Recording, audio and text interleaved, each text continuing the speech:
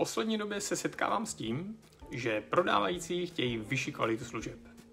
Někteří z nich dělají výběrová řízení, do kterého si pozvou více makléřů a porovnávají jejich nabídky.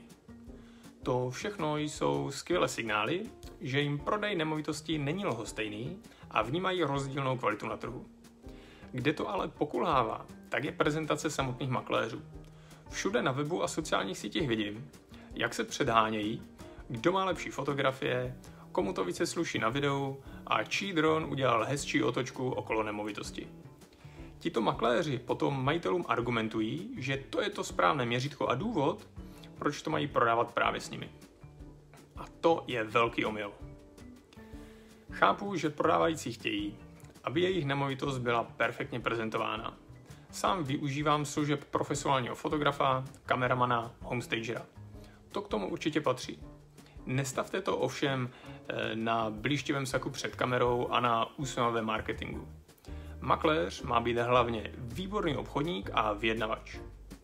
Objednat fotografa a kameramana umíte sami. Na to makléře nepotřebujete a kvalita bude úplně totožná. Výhoda tedy rovná nule. Kdy opravdu vyděláte na tom, že si objednáte výborného obchodníka? Tajemství je ukryto v jednoduché statistice čísel, kterou ovšem 99% makléřů vůbec nezná. Na některá z těchto čísel se dnes blíže podíváme. V budoucnu vám totiž pomohou rozklíčovat opravdého profesionála od průměrného makléře. Rozdíl mezi nabídkovou a prodejní cenou. Od roku 2019 jsem svým klientům navíc vydělal 2 miliony 510 tisíc korun. Je to tím, že neprodávám prvnímu zájemci v pořadí. Prodej je postaven na tom, že pokud se sejde více zájemců, soutěží mezi sebou.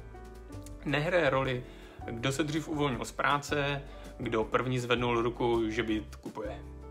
Způsob na prvního je z mého pohledu čirý amatérismus, který má u nás bohužel e, silně zavedenou tradici mezi makléři. Průměrné navýšení ceny.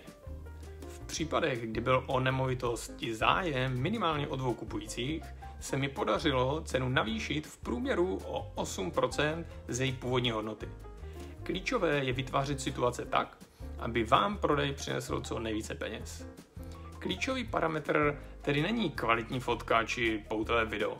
Je to způsob, jaký makléř pracuje a jak dokáže prodat silné stránky vaší nemovitosti. Je to obchodní taktika a mnohaleté zkušenosti, díky kterým vám navýší prodejní cenu a nebo dojedná lepší podmínky. Až tedy v budoucnu budete prodávat vaši nemovitost, zeptejte se ho na jeho čísla. Garantuji vám, že drtivá většina je nebude znát. Pokud ano, tak to může být váš člověk. Nebo prostě zavolejte mě a o nic dalšího se už starat nemusíte. Tak brzy na viděnou.